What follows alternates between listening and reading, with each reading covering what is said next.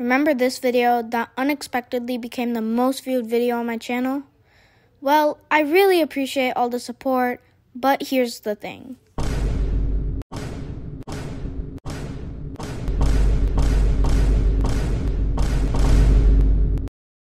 Okay, fine. I guess I'll do the whole runway. Let's try that again.